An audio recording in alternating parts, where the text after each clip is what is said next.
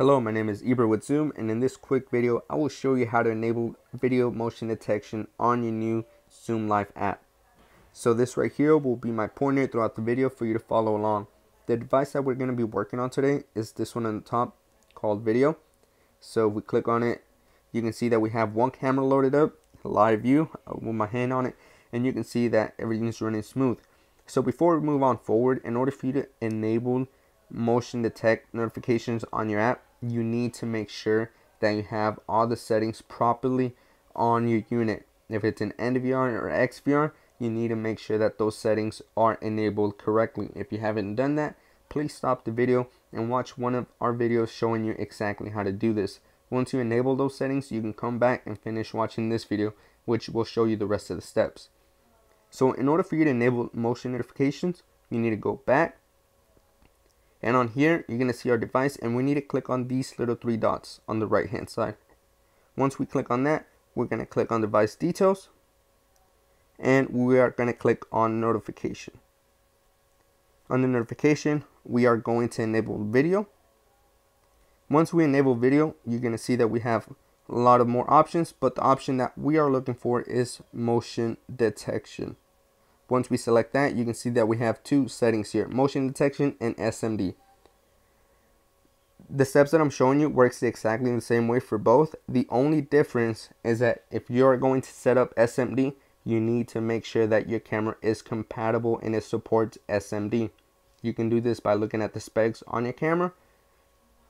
Moving on, so we click on motion detection. We're going to select the camera that we need. So in this case, it's just camera one or you can select all but like I said in my case it's just camera one and we're gonna go back and just to show you if we click on SMD it's exactly the same way. Just make sure that your camera is compatible. Now if we go back all we have to do here is click save on the top right. Once we click save we just we need to go back and if we go to the bottom under message let's delete this message from earlier. If we refresh you can see we have no messages we go back to home. And now if we do motion on the camera you can see that we got a notification on the bottom. It gives us the date and the time when the notification happened as well with the screenshot. Now if we click on that you can see it gives us the same thing the date and the time. Now once I click on this unit it's going to give me the record of what happened.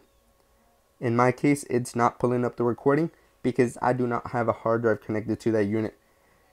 So in your case, if you do have a hard drive, you should be getting playback here of what happened, what motion was detected.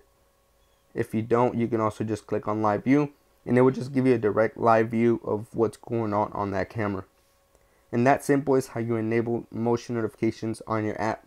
If you would like to disable notifications, it's very simple as well. We need to go back. We need to go back we need to go to home on the bottom left. Here we need to click on the three dots again. Device details notification and here all we need to do is just unenable video. And that's simple. Our notifications are turned off. I hope this video helps you out. Thanks for watching